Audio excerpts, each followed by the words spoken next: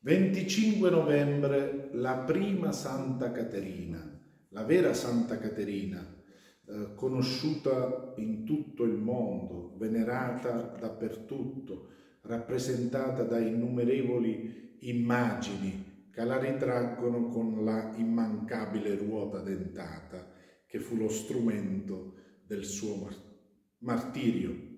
Noi sappiamo che esiste Santa Caterina da Siena, Santa Caterina da Genova, Santa Caterina da Bologna.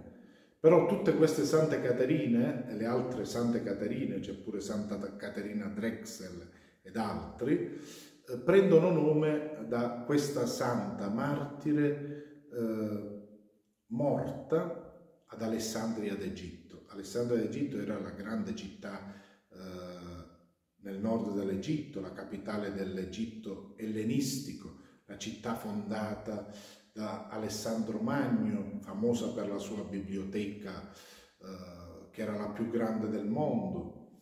E nell'anno eh, 287 eh, Massimino Dacia, che poi sarebbe diventato imperatore, eh, visitò come luogotenente eh, dell'imperatore la città di Alessandria e si fecero dei festeggiamenti.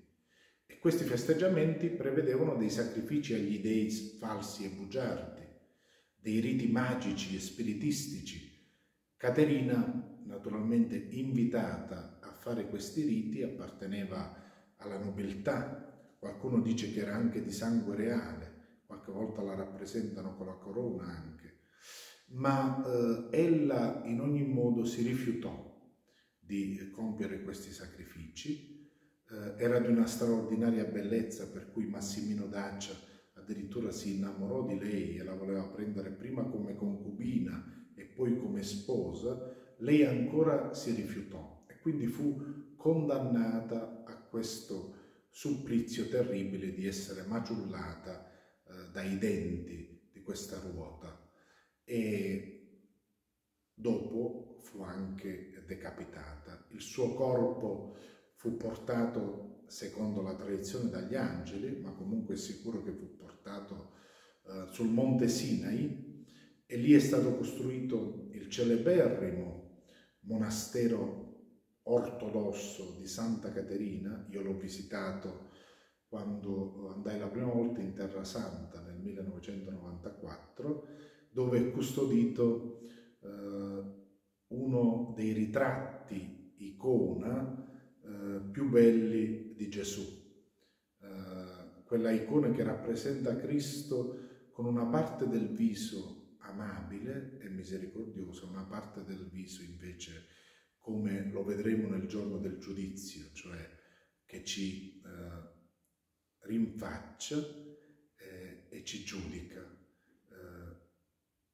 ci rinfaccerà le mancanze d'amore e ci metterà di fronte alle mancanze d'amore che avremmo avuto, ai peccati di questa vita. Eh, santa Caterina è, secondo la tradizione, una santa anche molto presente con le apparizioni nella vita della Chiesa. Ne ricordo due. Eh, Santa Giovanna d'Arco eh, testimoniò che lei sentiva la voce, che aveva visto Santa Caterina e quindi questa voce la spinse a combattere per gli eserciti della Francia contro gli inglesi e anche quando ci fu il miracolo dell'apparizione del ritratto di San Domenico in Soriano, il monaco che ricevette questo ritratto eh, disse di eh, vedere accanto al ritratto, cioè tra le sante che gliel'avevano eh, consegnato Santa Caterina d'Alessandria e eh, Santa Maria Maddalena.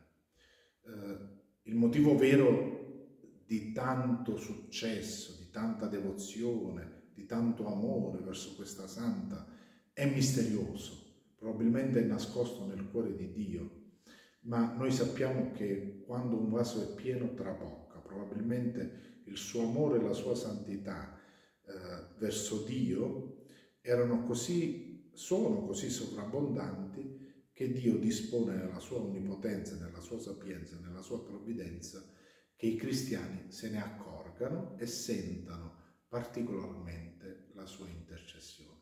Santa Caterina d'Alessandria prega per la Chiesa, prega per il mondo intero, prega per la pace.